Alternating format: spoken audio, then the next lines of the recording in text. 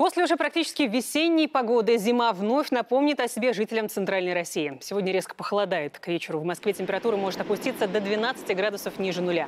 Синоптики также предупреждают о снегопаде с сильным ветром. Причем метель может продолжаться три дня. Автоинспекторы призывают автомобилистов быть внимательнее и по возможности пересесть на общественный транспорт. Впрочем, осторожнее стоит быть и пешеходам. После оттепели может образоваться скользкая корка.